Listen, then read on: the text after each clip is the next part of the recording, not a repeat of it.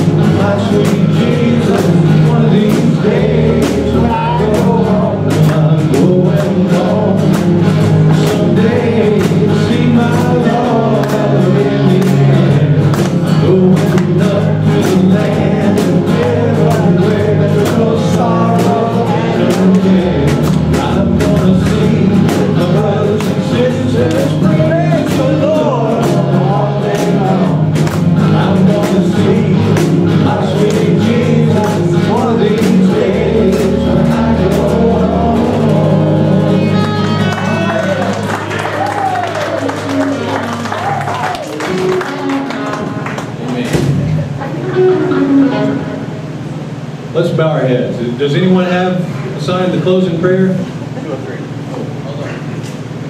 Uh, the con- contribution this morning was $203. That's pretty good for a, for a small group. Uh, Praise the Lord for that.